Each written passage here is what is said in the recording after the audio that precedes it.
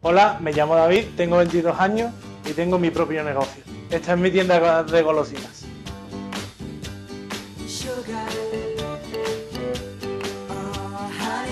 Bueno, mi trabajo se trata de entender a la gente que vaya entrando a la tienda para aconsejarles si necesitan algún tipo de gomita específica sin gluten, sin azúcar, pues yo les cobro y ese es prácticamente mi trabajo. Hola, buenas. Un euro.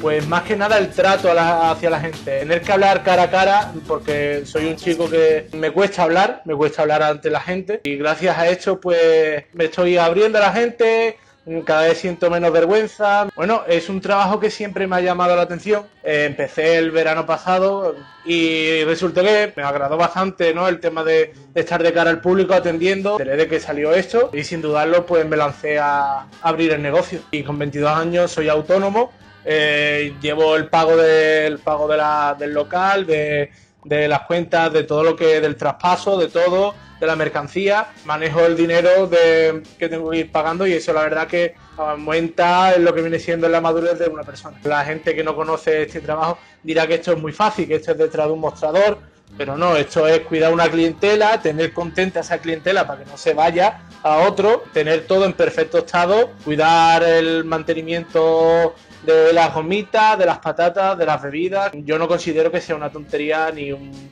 trabajo mm, súper fácil porque ningún trabajo es fácil. Es sacrificado porque echas bastantes horas. Aparte de las que estás aquí, cuando no estás trabajando, tienes que estar pendiente a si pasa algo con la empleada, alerta de que no, no falte nada en la tienda. Entonces, prácticamente es día a día estar atento a la tienda. Las cámaras, esta sí, este y estas dos no.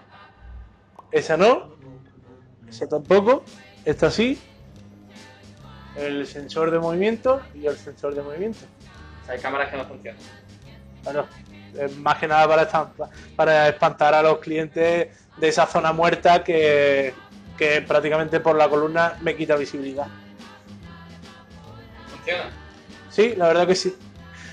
Se lo piensan dos veces. Electricidad, un grado medio de electricidad. Mm, me gustaría trabajar de eso que para lo estudiado no es ni un paso atrás, como muchas veces se considera que puede ser un paso atrás no, no trabajar en lo que has estudiado. A día de hoy eso casi que no se puede. Entonces, si uno tiene un sueño de abrir un negocio, que se lance porque al fin y al cabo le va a hacer bien.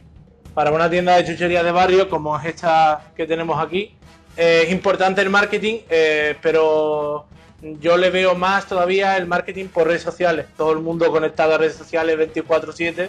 Una de las estrategias de marketing que he tenido que utilizar. Es curioso porque un amigo vende entradas para un tipo de fiesta. Él me dio entradas para que la gente tuviera que venir hacia aquí eh, para comprármela a mí y ya de paso conocían la tienda y compraban en la tienda. Entonces eso es más o menos una de las que utilizo, otras por redes sociales. Prácticamente siempre me fijo en lo que tiene una tienda para no hacer lo mismo. Se puede ganar mucho dinero. Pues te pongo un ejemplo, el, un kilo de gomita te puede valer 3, 4 euros. Si vende cada gomita 5, 10 céntimos o al peso los 100 gramos, mm, prácticamente le sacas el 100% o el 200% a lo que te ha costado. Yo siempre digo que la chuchería es, una, es, es un alimento que, que le saca mucho dinero. Que trabaja en el Telepizza o en el McDonald's siempre está tratando con hamburguesas y al fin y al cabo, como yo digo, mm, las aborrezco, ¿sabes? En plan,